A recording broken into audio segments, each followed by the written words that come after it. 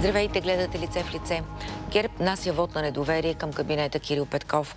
Има ли връзка между оттеглянето на има такъв народ от управляващата коалиция и атаката срещу властта? Сега ще разберем от заместник председателя на партията Томислав Дончев. Здравейте. Здравейте. Разбрахте, че има проби в коалицията и внасяте вод на недоверие. Госпожо Ризова, гледали ли сте има ни филми с такъв жанр, където и ни супергерои пристигат от космос да спасяват разни планети, които са в беда. И като си свършат работата, пак от космоса се появява един голям сребрист кораб и ги отнася да спасяват други планети. Мисля, че сме в подобна ситуация. Супергероите свършиха това, което можаха. Време е да се качат на големия сребрист кораб, местните им помощници да им помахат за, за довиждане и да отидат да спасяват други планети. Отвъд чегите и закачките, това дори в някаква степен е закъснял акт. Да не коментираме, че какво по-естествено да прави една опозиция от това да атакува в рамките на законите на Конституцията, управлението, да го критикува, да му намира кусури. Аз не успорвам това. Просто ми прави впечатление, че се случва само ден-два след като стане ясно, че на практика коалицията е пробита. Има много, има много причини за този политически ход.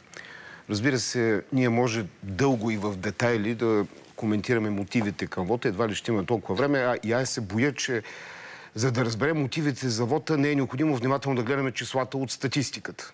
Защото ефекта от промяната го усеща всеки по джоба, по резервуара, по хладилника и по какво ли не друго. Впрочем, има неща, които гражданите не, не усещат толкова видимо. Това е стремителният темп на задлъжняване на държавата. И ако 2022 година изглежда предизвикателно от гледна точка на публичните финанси, на мен 2023 ми изглежда направо катастрофична. Мога да ви обясня и защо. Е, обяснете, защото тук идват економисти, които твърдят, че това е силно преувеличен страх, тъй като ние отново сме страната с един от най-низките дългове. Така, той е наследен следствие на 25 годишна политика на различни правителства, така. които са поддържали ниски дефицити, балансирани бюджети, дори излишъци да. и нисък дълг. И каква е разликата? Защото когато вие вземахте а, така дългове. Горанов казваше сега е изгодно, сега е добре, сега е в полза на страната, сега е на, на лихвани. А каква е разликата от сегашното вземане на... Има значение един показател, как се планира да се увеличава процента на дълга към брутния вътрешен продукт. А тенденцията, видима от всички анализи, че този процент ще расте. Само за, в рамките на този бюджет е предвидено дълга да порасне с 10 милиарда нови, т.е. при актуализацията с 3 милиарда плюс. И това не е единствения проблем. Обръщам внимание една реплика, още когато беше гласуван първия бюджет. Тогава имах възможността да кажа, че този бюджет е чудодеен. Той от една страна ще изхарчи страшно много пари. Е най-високия бюджет в българската история. И от друга страна, ефект от тези похарчени пари няма да има. Боя се, че... Да, забелязах, че, извинете, че ви прекъсвам, а, вие сте гласували, не сте гласували за увеличението на социалната част на бюджета Ние имаме днес. собствено предложение. Да. Ние имаме... И как ние... ще отговорите на хората, че ни, на пенсионерите, че не искате да им се увеличават пенсиите или на определени социални категории да им се дадат възможности да, имаме... да оцеляват? Ако ми дадете възможност да, отговоря, ние имаме, ние имаме собствено предложение което е ориентирано така, че да помогне на пенсионерите, които са от е, най-уязвимите, най-уязвимите групи в тази, в тази криза, без да дебалансира бюджета в такава степен. Защото има детайли, на които даже някои от вашите гости, експерти, наблюдатели не обръщат внимание. Увеличението на пенсиите, фактически една голяма част от него е базирано на кредитен ресурс. Какво имам предвид? увеличението на пенсиите се изплаща с средства, които очакваме да получим, ако ги получим и ако Европейската комисия е съгласна, заемообразно от Националния план за възстановяване и устойчивост. Така, вашето да, предложение? Да предположим, да предположим, че това е възможно. Но настъпва 2023 година. Правителството, което и да е то, което и да е то, то ще трябва да изплати по-високия размер на пенсиите и в същото време, понеже тези пари, които евентуално ще пристигнат, са целеви, то ще трябва да извади от бюджет средства, за да финансира тези проекти. Тоест, разходът ще стане, ще стане още по-голям. Да не коментирам, че да се помага на най-уязвимите групи във времена на криза, разбира се, е правилно. Това правителство, впрочем и предишните. Ние говорим една година назад. пропусна възможността да помогне на бизнеса с високите цени на електроенергията, за да може бизнеса да не прехвърля високите цени на стоките, на, на тока върху стоките в магазините. На това се дължи, впрочем, факта, че инфлацията тук, те си влязоха данните на НЕСИ, 15,6%, е двойно по-висока от европейската. А, да не коментирам, че голяма част от българите инфлацията по джоба си, когато пазаруват в магазина, изобщо не усещат като 15,6 усещате като двойно. А вие казахте, имаме собствено предложение. Откъде да дойдат парите за пенсионерите, ако отричате този вариант, който предлагах с финансовото министерство? Нашия вариант е много по-балансиран. Той също предвижда увеличение на, увеличение на пенсиите, без такава щета върху бюджета. Откъде да дойдат парите? Ще го научите буквално след няколко часа буквално след няколко часа, както му е реда, в пленарна зала. Няма да го анонсирам, няма да го анонсирам тук. Разбира и се, това ли са мотивите да поискате вота на недоверие? Мотивите са над 12 страници. Може, имате възможност да ги изчетете и дълго може да говорим с числа. Само, че отвъд, три важни мотива за отвъд числата искам да кажа нещо, което го няма в мотивите, защото е, желанието нашето вътре да има професионални аргументи, не политически заклинани. Защото аз съм чел много мотиви за, мотиви за вод на недоверие, престъпно, безхаберно и така нататък. В тези мотиви има само числа и аргументи, данни от официални, от официални източници. Това, което не го пише в мотивите. Първо ние говорим за, първо говорим за коалиция, която фактически вече няма парламентарна подкрепа. От тук всякакви опити за изкуствено удължаване на, на, на живота са безмислени и скъпи. Говоря и от гледна точка на публичните финанси, говоря от гледна точка на политически щити. Противоестествени и, и цялото това нещо в един момент се превръща в мъка за всички.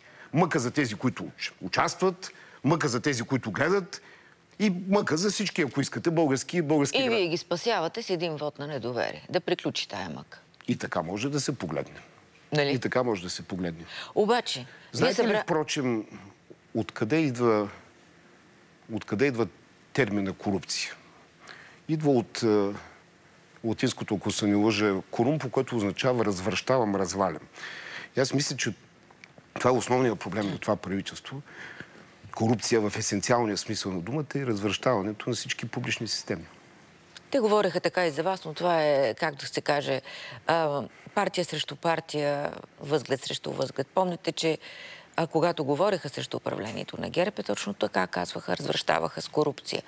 Но, както се казва, вота на хората ще покаже а, кое развръщение Айде да сравняваме, малко... когато говорим, когато особено се оправят такива укори, айде да говорим с аргументи, с факти, да сравняваме числата.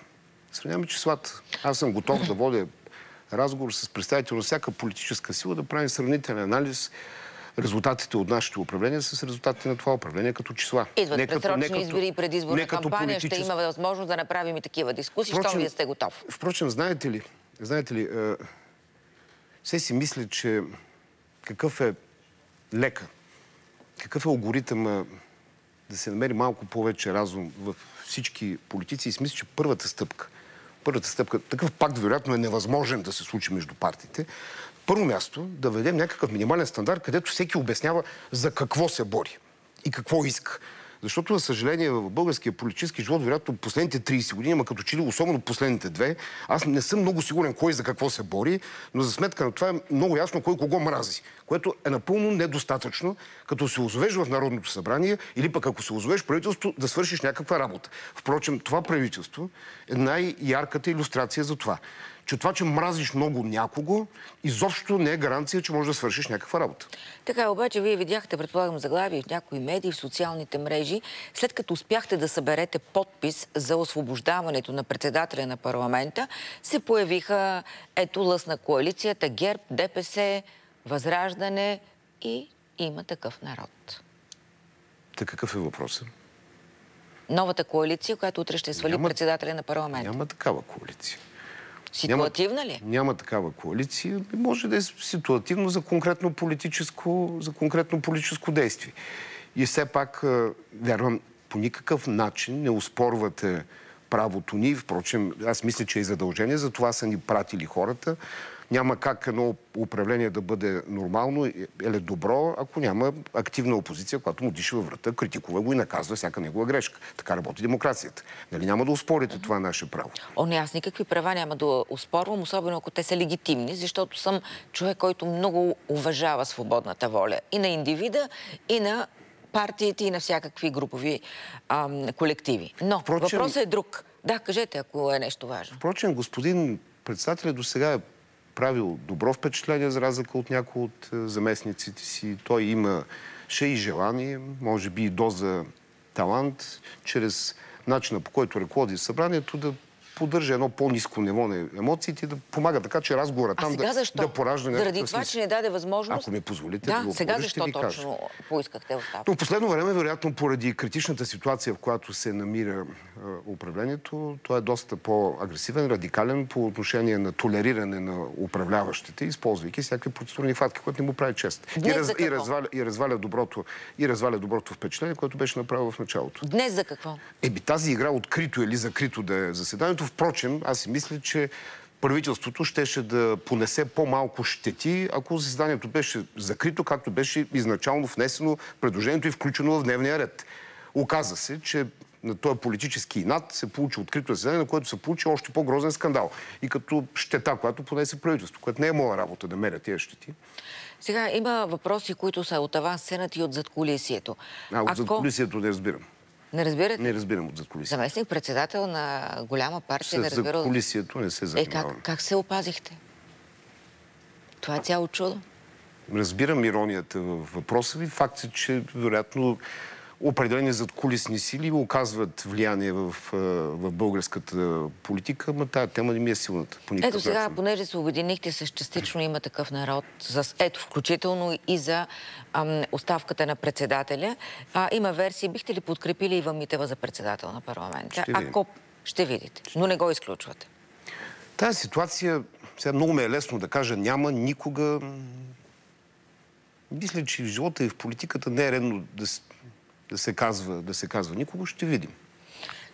Пак въпрос. То така или иначе, по всяка вероятност и живота на този парламент няма да е особено дълъг. Не считам, че от първостепенно значение. Разбира се, това са политически знаци. Това са политически mm. знаци. Аз също не смятам, че това ще доведе до нещо радикално различно. А, отцепниците от има такъв народ говорят за един човек, който беше общински съветник от ГЕРБ, Орлин Алексиев. И търсят някаква връзка между вас и има такъв народ. И Трифонов. През този човек. Нямаме връзка с а, има такъв народ. А и да напомня, че това е политическата сила, която доскоро, да не коментираме миналата година, най-стръвно ни критикуваше. И тук критикуваше и използвам възпитан израз, защото бих могъл да използвам и, и друг. Няма такава връзка. Добре, в спора между финансовото министерство а, и Гроздан Караджов, а, кой смятате, че е по-прав, така да кажем? Смятате ли, че Караджов е подписвал договори от ваша гледна точка, защото бяхте и вице-премьер, знаете, имате, а, как да кажа, по-небито око за тези неща, отколкото граждани. На кой е правия в този спор?